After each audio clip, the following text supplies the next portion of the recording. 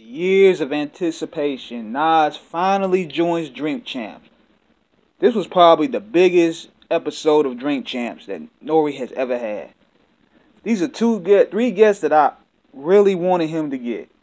Was Nas, Cam'ron, and Prodigy. Rest in peace.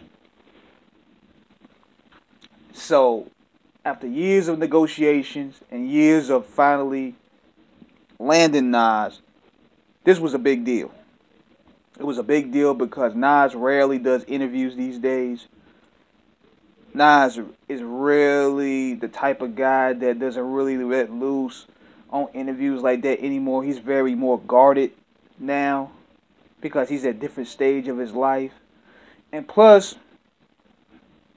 the media has changed for the worst part. We in this Breakfast Club, DJ Vlad era where being provocative and causing conflict and controversy is the wave right now. So it makes a lot of artists very reluctant on wanting to do interviews these days because they don't know if these guys are trying to use them for clout, use clips for clout, because or create a viral moment for that matter. Because that's what made the Breakfast Club what it was viral moments. So the pressure is on new content creators and interviewers to follow the same formula if they want to eat. So N.O.R.E. finally bring Nas up there, and I thought he did good. He did good, but it seemed like it wasn't really an interview. It seemed like it was more so like I ain't talked to this nigga in 20 years, so I'm just trying to recapture on a lot of things. But there's some things that I felt that he could have asked, and that that he left out. I don't know because N.O.R.E.'s brains was fried off of drinking. But what I would have asked him, I would have asked him what made him want to consider signing with Murder Inc. That's what I really wanted to know. Because that situation there was very puzzling.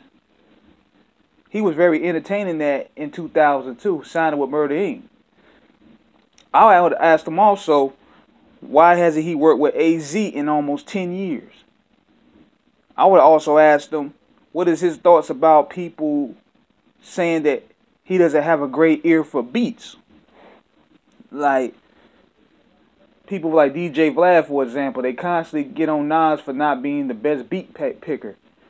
I would also ask them, what's the relationship status with DJ Premier?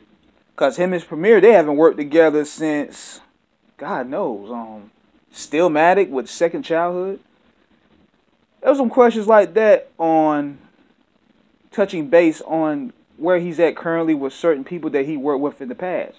Because I just find it odd that he hasn't worked with Premier in a long time. But considering what it was, a lot of people would say it's light. It kind of was light based off of comparison, but we got to understand the dynamics of business now that Drink Champs has linked the deal with Tidal, Revolt, and now Mass Appeal. So we may start seeing Nas there more. So it was just like I was saying on the interview with Unscripted Network. It's a relationship based business. Everybody's trying to protect the bag.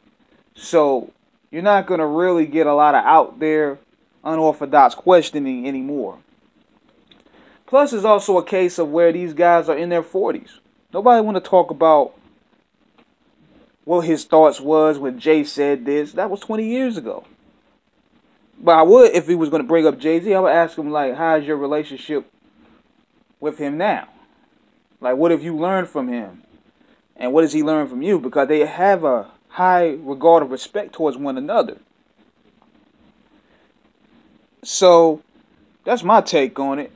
I felt that he did a good job, but it was a bit too safe.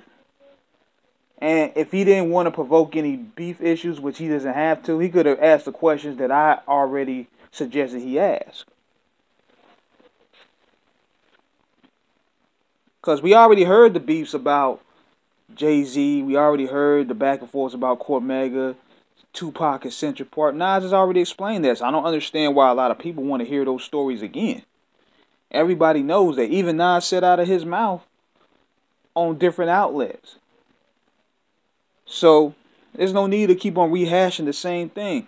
But it seems like that's what people want to hear all the time. But I like the fact that they also focus on the music part.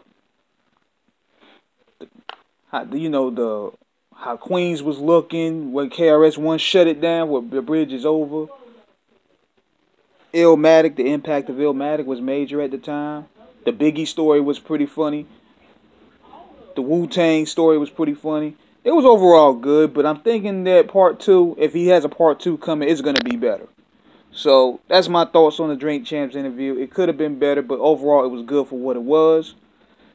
So subscribe to the network. Hit the like button. Y'all know what to do. Holla back.